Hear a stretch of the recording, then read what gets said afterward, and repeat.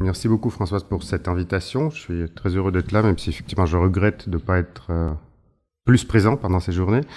Euh, voilà, je vais vous parler euh, d'un sujet qui est un peu un sujet d'actualité, n'est-ce pas, qui est la confiance dans le numérique.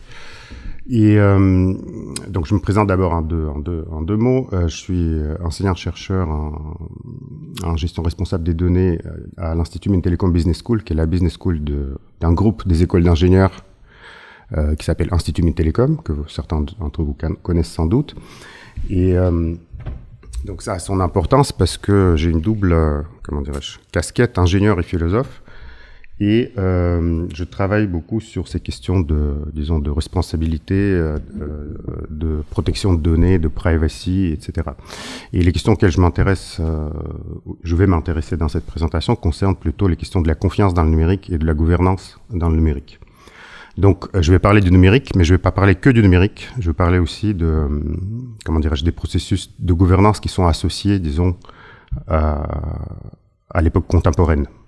Voilà, euh, parce que pour moi, je pense que on ne peut pas dissocier, disons, c'est ce que je vais essayer de vous montrer, euh, le phénomène du numérique des phénomènes de gouvernance qui l'accompagnent. On entend bien? Oui, je pense que ça serait mieux. Oui, c'est peut-être mieux comme ça. Merci. Donc, euh,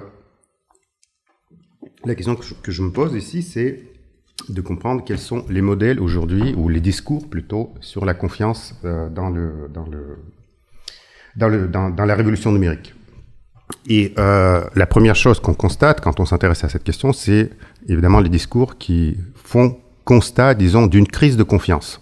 Selon ces discours-là, on a aujourd'hui, on est aujourd'hui, on vit aujourd'hui une crise de confiance, et il faut, disons, rétablir la confiance.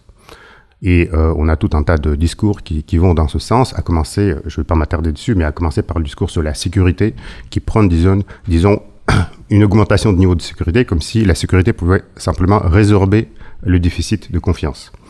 Mais euh, la question qui se pose tout de suite, c'est est-ce que la confiance, c'est quelque chose qu'on peut mesurer? Est-ce qu'il y a un niveau de confiance qu'on pourrait, que le numérique viendrait affaiblir dans un premier temps, et puis on pourrait rétablir ce niveau-là, retrouver ce niveau-là, comme on retrouve, disons, un paradis perdu, avec euh, des certaines mesures, des mesures bien choisies, euh, que ce soit les mesures de sécurité en informatique ou que ce soit des mesures de labellisation, de certification ou de recommandation euh, dans le domaine de la gouvernance.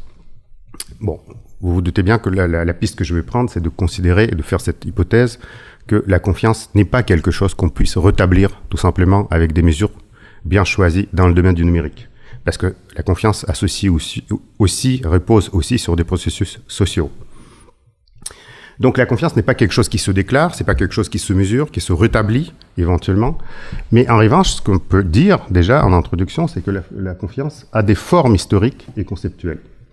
Et euh, je vais partir ici d'un travail qui a été réalisé par Niklas Luhmann, un grand sociologue et juriste allemand, euh, qui considère cette distinction conceptuelle au sein du domaine de la confiance entre trust et confidence. Alors, en anglais, ça marche, ça marche moins bien en français, mais je suis obligé de le faire, parce qu'en français, on n'a qu'un seul mot, disons, et les anglophones, ils ont deux mots différents pour dire la confiance, et euh, en jouant sur cette distinction linguistique, on peut faire ressortir les distinctions historiques et conceptuelles.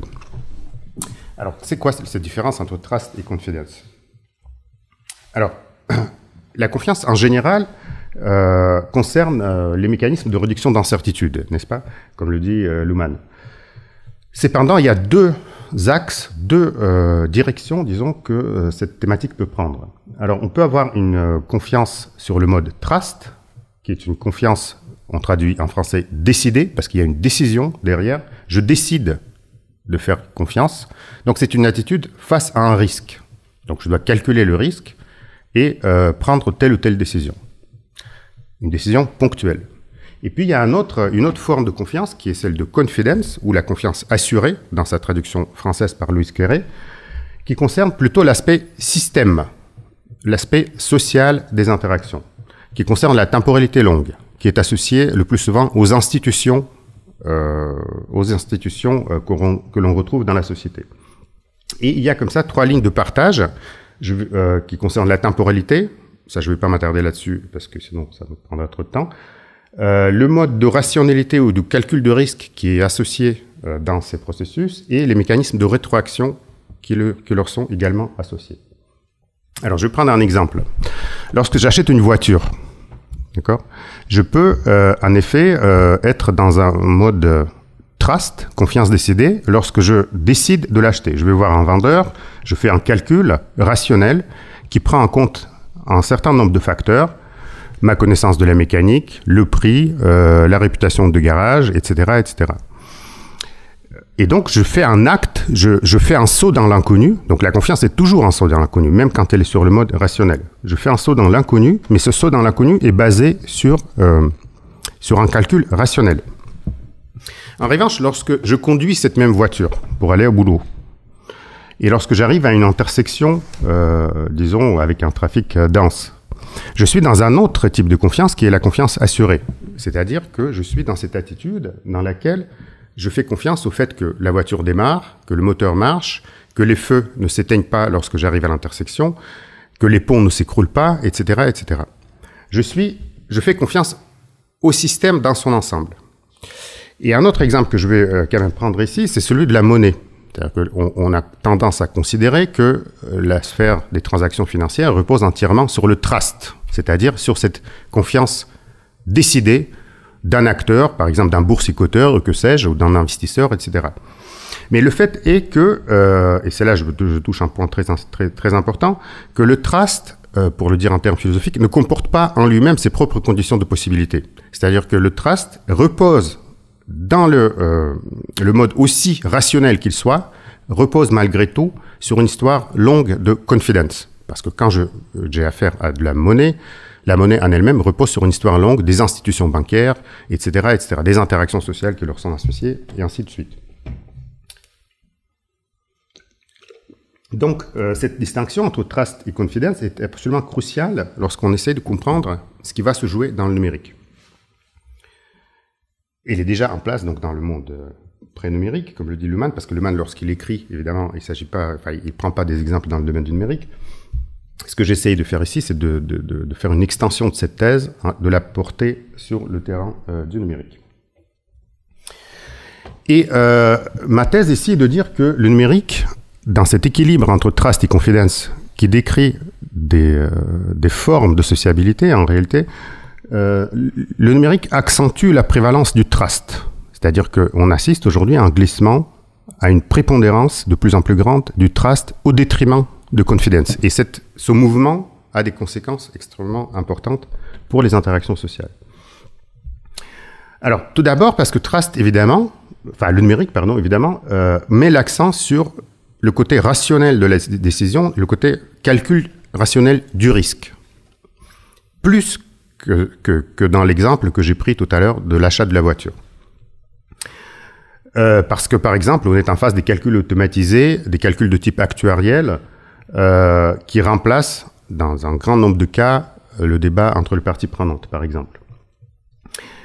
Et puis aussi, deuxième aspect, euh, cette idée de la boucle de rétroaction qui guide le comportement de l'utilisateur, de l'individu, du consommateur, qui, met l'accent sur la bonne ou la mauvaise, décision que je prends par moi-même et dont le, les conséquences me sont désormais imputables.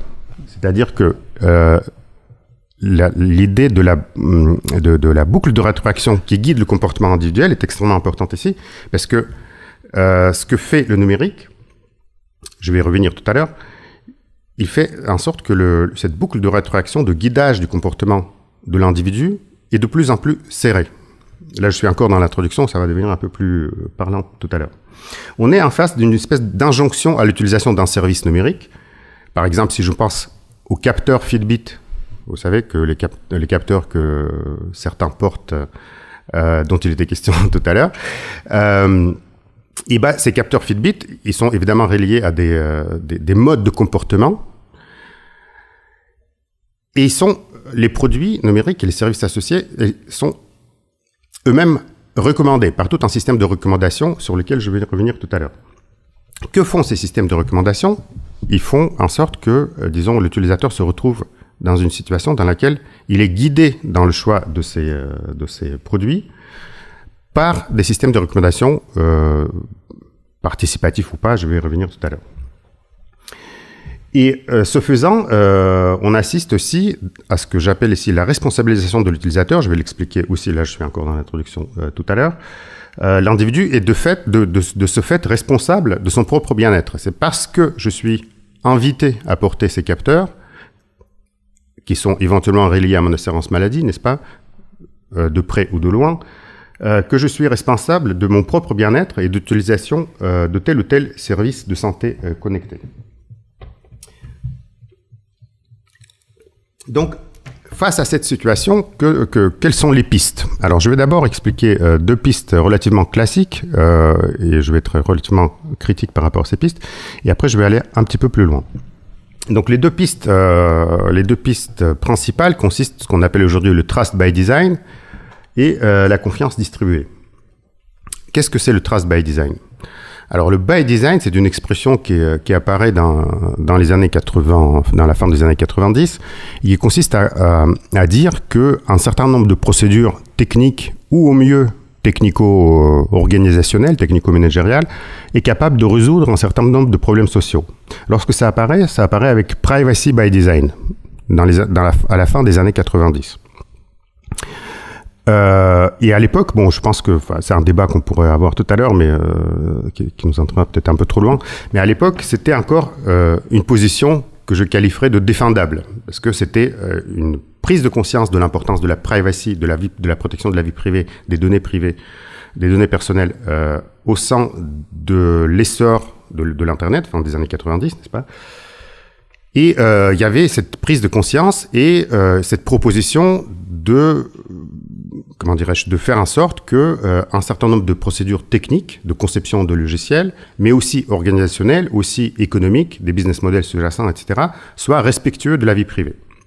Mais sauf qu'après, ça, le, le by design est devenu une espèce de mot valise, et euh, on assiste aujourd'hui à des, euh, comment dirais-je, à des, des reprises de ce terme à tout va, on a l'éthique by design, on a bientôt friendship by design avec Facebook, on a euh, trust by design évidemment, etc. Ce que je vais essayer de dire ici, c'est que évidemment ce, trust by design est un mirage. Euh, et la, seconde figure, c'est celle de la confiance distribuée. Ils vont, euh, ces deux figures, elles vont souvent ensemble. La confiance distribuée concerne plutôt l'aspect euh, reparti de la confiance. C'est le fameux trustless de la blockchain, si vous voulez. C'est-à-dire que c'est l'idée que répartissant, bien sûr, il y a une partie technologique, mais il y a aussi une partie distribuée dans le sens organisationnel du terme. Dans l'idée de la blockchain, il y a l'idée qu'en repartissant les calculs parmi euh, un certain nombre, un nombre suffisamment grand plutôt de, participants, on aboutirait à, euh, à cette idée que, enfin, à ce résultat que la confiance puisse être assurée par le fait même de repartir le calcul. Mais ce faisant, quelle que soit l'une ou l'autre des deux figures, on voit bien que l'accent est de plus en plus mis sur le trust dans les deux cas et non pas sur la confidence. D'accord? C'est-à-dire qu'il y a de plus en plus le, le, centre de gravité se déplace, pour ainsi dire, de plus en plus vers le trust, vers le calcul rationnel, vers le, calcul actuariel, au fond, euh, du risque. Et ce faisant, au fond, euh, on assiste à la délégation de ce qui est évalué, des évaluations du risque, de la confiance, de ce qui est digne ou pas euh, de confiance, à des acteurs de plus en plus extérieurs aux institutions sociales euh, On passe des institutions telles qu'on les connaît, débats politiques, euh, débats entre parties prenantes, etc., à des processus algorithmiques automatisés. Et ce faisant, l'individu, lui, l'individu utilisateur, est cantonné sans doute dans toujours de plus en plus de choix possibles sur le marché, comme on dit, mais ces choix sont en réalité présélectionnés pour lui par des process dont il ne maîtrise pas euh, les rouages, et qui mobilise les instances extérieures sur lesquelles l'utilisateur n'a aucune prise. On assiste au fond à l'automatisation de la confiance. C'est ça euh, le, point euh, clé de cette, euh, de, de, ce petit parcours, c'est de, de, dire que l'automatisation, ce, ce, mouvement consiste à automatiser la confiance au détriment, évidemment, de ce que j'ai appelé tout à l'heure confidence, c'est-à-dire une histoire longue, comme disent les Anglais, grassroots based, c'est-à-dire que qui, euh, qui se base sur les interactions sociales de proche en proche, qui part euh, des interactions sociales locales pour aboutir à des institutions qui sont euh, les garants de la confiance. Alors, euh, je voudrais aller un peu plus loin et prendre un exemple un peu plus concret parce que j'aime bien des choses, euh, montrer des choses relativement concrètes. Ce paysage-là, il y a un autre élément qui se rajoute à lui et qui est un élément qui relève proprement des problématiques de la régulation. Cet élément, c'est le poids de plus en plus élevé de ce qu'on appelle les labels. C'est-à-dire ces labels qui vous guident dans vos choix de, tel ou tel produit ou service numérique. Alors le premier, enfin vous, pouvez penser au label, vous savez comme sur des machines à laver, n'est-ce pas, écologique A, B, C, D, et ça prend un petit peu les mêmes formes de manière un peu plus compliquée dans le domaine du numérique. On a aujourd'hui, euh, c'est pas encore le cas, mais ça va, ça va arriver très vite, des services qui sont labellisés comme dignes ou pas de confiance. Et euh, j'ajoute ici que cette euh, résurgence des labels dans le domaine numérique, du numérique est quelque chose qui est inscrit dans la régulation, par exemple, enfin, y compris dans les textes de loi désormais, depuis euh, deux ans. Euh, par exemple, le règlement général sur la protection de données, que vous connaissez sans doute, stipule très clairement que, euh, ils appellent ça les marques de confiance, des, systèmes de labellisation, sont amenés à se développer dans l'espace économique européen pour justement, disons, euh, permettre la protection du consommateur, mais aussi euh, ce mouvement peut avoir des effets que je vais évoquer tout à l'heure. Donc il y a toujours cette ambiguïté entre la protection du consommateur et les problématiques de, de régulation. Alors, que se passe-t-il euh, dans ce domaine des marques ou des labels de confiance? Sur le domaine de, dans le domaine de, par exemple, des données personnelles. Alors, il se trouve que j'ai pas mal travaillé là-dessus avec des collègues il y a quelques années, euh, avec des collègues universitaires, mais aussi avec des acteurs, euh, disons, institutionnels et, euh, et euh, économiques, y compris la CNIL. Donc, en fait, si vous voulez, euh, ce qui est très intéressant, là, ça, je vais prendre cinq minutes juste pour expliquer ce schéma-là, qui n'est pas très beau, je m'en excuse, mais qui a, qui a qui a, comment dirais-je, qui apporte quelque chose. Alors, supposons qu'on ait, qu'on puisse définir un niveau zéro qui nous est proposé par le règlement général sur la protection de données. Vous savez, c'est ce règlement européen qui instaure la protection des données euh, dans l'espace européen.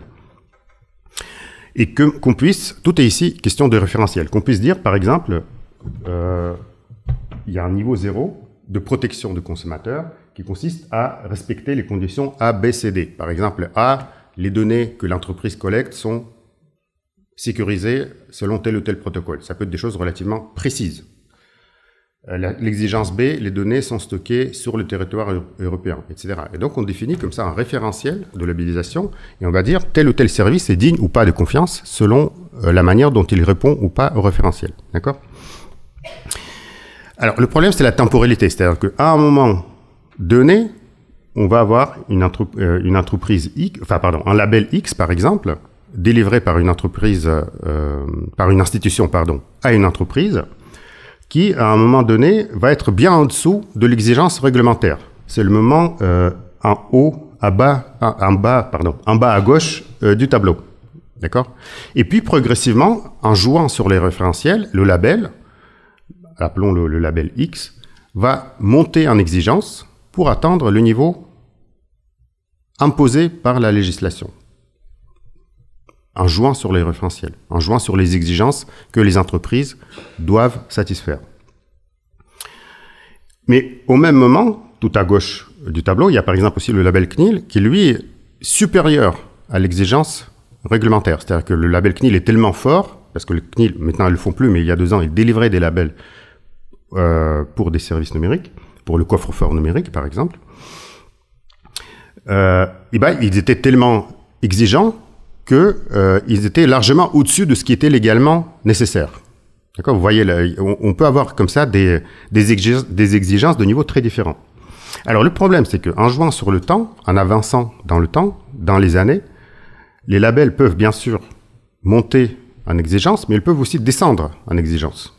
C'est-à-dire que rien n'empêche un organisme de labellisation continuer à délivrer le label qui est en dessous de l'exigence réglementaire. C'est une subtilité qu'on a souvent, euh, qu'on omet souvent euh, de mentionner, mais c'est légalement le cas. Parce que on est dans un processus, euh, disons, de, de, de, de, labellisation commerciale. Ce qui fait que les services tels, numériques tels qu'ils sont proposés sont ici, euh, comment dirais-je, fluctuants. Cette confiance, est, elle est fluctuante. Que si maintenant je suis un utilisateur lambda et que je regarde à un moment T ce qui m'est proposé sur le marché, je vois les produits labellisés et je suis amené à leur faire confiance. Sans forcément me demander le mécanisme, vous voyez, je parlais tout, à l'heure des mécanismes qui sont sous-jacents à cette institutionnalisation de la confiance, sans forcément me demander qu'est-ce qui se passe derrière le, ou sous le capot plutôt. Et donc euh, ici, euh, il faut pas se tromper, c'est-à-dire qu'on est, euh, dans une situation nouvelle, on passe, y compris pour l'entreprise, je vais prendre deux points de vue, celui de l'entreprise et celui de l'utilisateur, y compris pour l'entreprise, on quitte un modèle qui a guidé, euh, disons, euh, disons, euh, tout le développement industriel depuis 19e, enfin, fin 19e jusqu'à maintenant, qui, qui, était basé sur la conformité. Il fallait que l'entreprise, dans ses produits, soit conforme à un référentiel bien défini. Et on quitte la problématique de la conformité vers, enfin, pour regagner la problématique de ce qu'on appelle aujourd'hui accountability. C'est-à-dire que je dois répondre, pouvoir répondre à des risques, mais ces risques, en tant qu'entreprise, c'est moi-même qui les définis. Donc on est euh, on est euh, dans un déplacement euh, au, dans la, au sein de la gouvernance. Il y a une nouvelle forme de gouvernance qui apparaît on passe du, du légal, disons de l'exigence légale pour l'entreprise, au régulé. On peut penser bien sûr ici à, à ce concept de roll-out néolibéralisme qui consiste à dire que euh, il y a un mouvement aujourd'hui, on est dans une phase de nouvelle phase de néolibéralisme qui consiste à réguler de plus en plus. C'est-à-dire que le néolibéralisme, de ce point de vue-là, n'est pas du tout un libéralisme classique. C'est pas du tout, euh, euh, comment dirais-je, l'absence des règles. C'est au contraire les règles beaucoup plus prégnantes, mais de nature différente.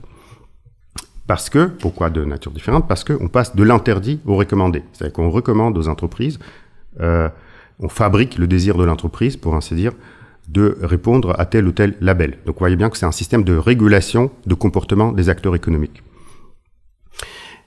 de manière un peu provocative, je dirais même que si j'ai une entreprise et que je veux savoir si je suis en conformité aujourd'hui, eh ben j'ai pas d'autre moyen de savoir si je suis en conformité que de passer par un procès. C'est-à-dire que je suis conforme uniquement si je suis pas condamné. N'est-ce pas? C'est-à-dire que parce que j'ai jamais une garantie de conformité acquise euh, une fois pour toutes. Comme disait Deleuze, aujourd'hui on n'en finit jamais avec rien quand il qualifiait euh, les sociétés contemporaines. Je pense que ça illustre assez bien euh, ce point. La sanction disciplinaire est bien sûr toujours possible, mais c'est pas elle qui est le moteur de cette forme de gouvernance. Maintenant, sur le terrain de l'individu, c'est là que ça nous intéresse sans doute le plus, on assiste à un double mouvement, un double mouvement un peu paradoxal, et c'est là-dessus que je vais m'attarder un petit peu plus. Parce que distinguer, on assiste à ce que j'appelle ici la déresponsabilisation de l'individu. Parce que distinguer entre les services de confiance, que j'ai labellisé, disons, selon cette procédure fluctuante, mouvante, modulable de labellisation, distinguer entre les services de confiance et les autres, c'est produire du risque. C'est produire du risque et de la confiance qui est censée résorber ce risque. C'est-à-dire que je définis le risque et je le résorbe en tant que régulateur et je, le, je, fais, je mets en place des mécanismes qui sont capables de le résorber. On assiste à une fabrication du risque. Mais au-delà de ça, on assiste aussi à la définition du possible pour le consommateur, pour l'individu. Les services qui ne sont pas dignes de confiance ne sont pas interdits. Je peux toujours acheter un service qui n'est pas labellisé. Simplement, ils ne sont pas recommandés. Ça conduit à des comportements de consommation, pour ainsi dire, conformes, qui se calent sur des référentiels donnés, mais qui sont en même temps modulés en permanence, au gré de euh, changements des référentiels, des périmètres de labellisation, etc. Et fondamentalement, ce à quoi ce point conduit, c'est qu'à se conformer sans réserve, pour ainsi dire, aux prescriptions et signes extérieurs euh, de confiance imposées par des instances extérieures, l'individu perd évidemment toute attitude critique face à ce paysage et euh, ça conduit à la généralisation des conduites qui sont qui ne font que suivre que, euh, que ne font que suivre ce qui est prescrit. Donc on assiste à une espèce de confiance suggérée et aveugle. Suggérée dans le sens où ce mode de gouvernance suggère de la confiance à l'utilisateur et aveugle dans le sens où euh, l'utilisateur ne fait que suivre ce qui est prescrit tout en se donnant bonne, bonne conscience évidemment parce qu'il achète les produits numériques labellisés. Mais on assiste aussi, euh, deuxième mouvement, à la responsabilisation de l'individu. Vous voyez la, la, la contradiction. Je, je, j'aime bien travailler sur les tensions, disons, c'est jamais univoque, c'est toujours des tensions. C'est là que euh, on, on, on, peut euh, le constater. L'individu aujourd'hui est responsable de ce qui lui arrive. C'est en ce sens qu'il est responsabilisé. Je reprends ici le travail de Danilo Martuchelli, un sociologue très important, qui dit aujourd'hui, enfin, euh, disons l'inspiration foucoudienne est, est, est évidente ici. L'individu est tenu aujourd'hui pour responsable non seulement de ce qu'il fait, ce qui est la notion de la responsabilité, n'est-ce pas Je suis responsable de mes actes. Mais l'individu, aujourd'hui, dans ce mode de gouvernance, est tenu de responsable de tout ce qui lui arrive. Vous êtes au chômage, c'est de votre faute. Vous avez fait un mauvais calcul. Vous êtes tombé malade, c'est de votre faute. Vous n'avez pas assez couru, vous n'avez pas fait 10 000 pas que votre capteur Fitbit vous a conseillé, n'est-ce pas? Donc, l'individu est responsabilisé dans ce sens précis où il est tenu pour responsable de ce qui lui arrive, souvent en dehors de sa volonté. Il est tenu responsable de ce qui lui arrive. Pourquoi? Parce que c'est dans l'exacte mesure où il est tenu d'ajuster son propre comportement sur le référentiel dont il n'est pas l'auteur, n'est-ce pas? Je parlais tout à l'heure de référentiel. Et bien justement, et des boucles de rétroaction qui ajustent le comportement de l'individu, et ben c'est exactement dans la proportion où l'individu est tenu de s'ajuster sur le référentiel dans son comportement qu'il peut être tenu pour responsable, dans ce sens précis, responsabilisé, euh, pour, euh, pour son, de, son propre comportement. En réalité, le mouvement est évidemment relativement ancien. Il date au moins de la deuxième moitié du XXe, mais il se conjugue avec le numérique. L'exemple du pénal, c'est Foucault qui le prend dans les années 70. Aujourd'hui, il ne juge pas l'anormalité de l'individu, c'est-à-dire que le criminel, c'est pas quelqu'un qui est anormal, par rapport à la société, c'est quelqu'un qui a fait un mauvais calcul. Donc on peut l'éduquer. Il a fait un mauvais calcul, il a mal jugé les risques. Donc il était dans le mode trust, n'est-ce pas, comme je disais tout à l'heure. Il a mal jugé le risque euh, relatif à son comportement et donc il a fait un mauvais calcul. Donc on peut ajuster son comportement en euh, le soumettant à une thérapie comportementale, par exemple. Et l'exemple plus près de nous de capteur Fitbit est exactement la même chose. Je l'ai évoqué tout à l'heure déjà. L'individu est responsable de son propre bien-être justement parce qu'il est responsable d'utiliser tel ou tel service labellisé. Euh, voilà. Donc on est dans une situation paradoxale où l'individu est tenu pour responsable d'ajuster son, propre comportement sur un référentiel qu'il n'est pas construit et euh, dont il n'est pas l'auteur. Alors je vais peut-être euh,